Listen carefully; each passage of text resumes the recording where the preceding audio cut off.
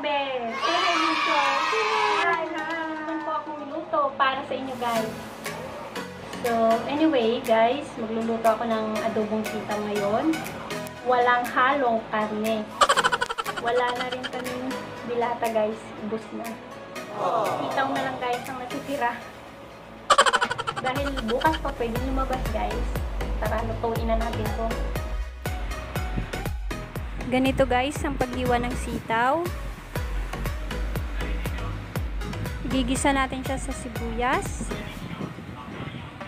bawang, lagyan din natin ng seasoning, at syempre suka at toyo. Mainit na ang kawali, lalagay na natin ang mantika. Ayan, pwede na natin ilagay ang bawang.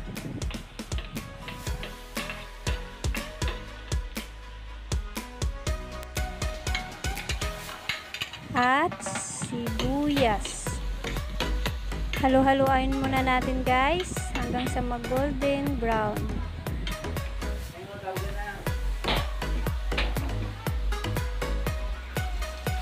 Ayan, okay na guys. Lalagay na natin ang sitaw.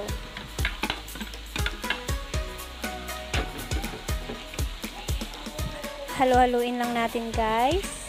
Ayan. Depende sa inyo guys kung anong lasa ang gusto nyo.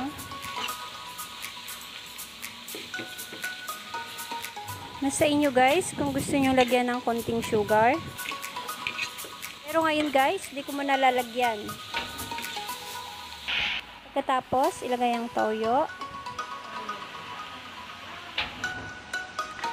Luin muna.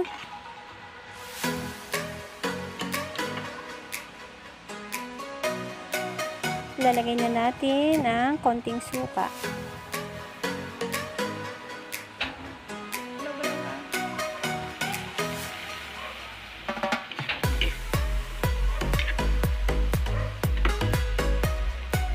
natin ang seasoning, asin, paminta, at magic sarap.